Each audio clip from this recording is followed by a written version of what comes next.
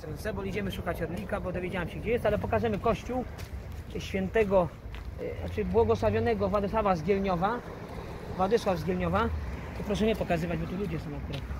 Zaraz kościół pokażemy.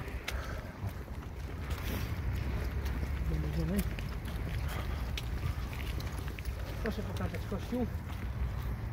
Kościół pokazać. Fajny kościół, piękny. Naprawdę ładny. Tam gdzieś z tyłu ma być.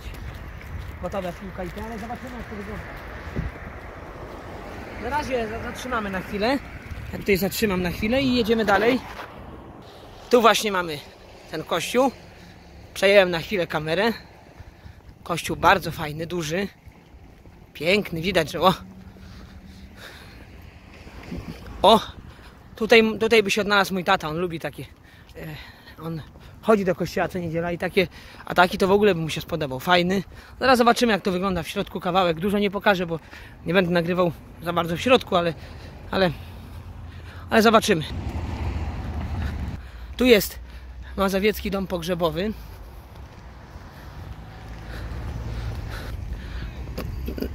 E, no tak jak mnie poprosił mój znajomy, żebym tutaj się pomodlił chwilę, to wejdę.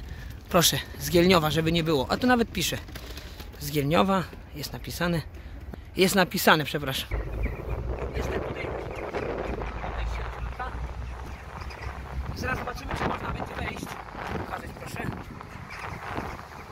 Do góry. Zaraz ja wezmę kamerę i wejdziemy do środka. Przepiękny kościół, naprawdę. Dobra, proszę kamerę, ja to zaraz wejdę do środka.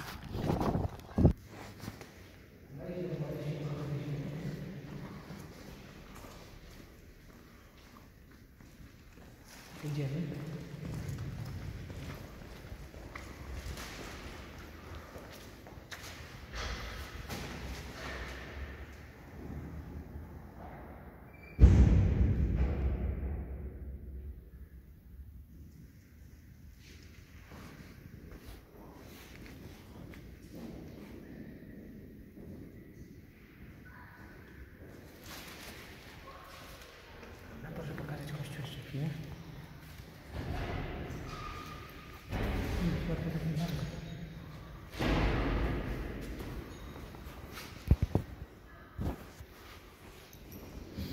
Tak wygląda w środku kościół.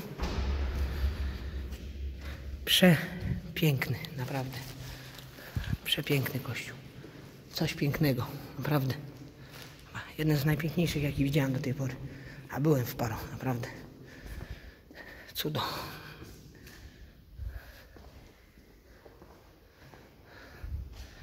Dobra, idziemy na boisko. Pozdrawiam Was, trzymajcie się i do zobaczenia. Папа. -па.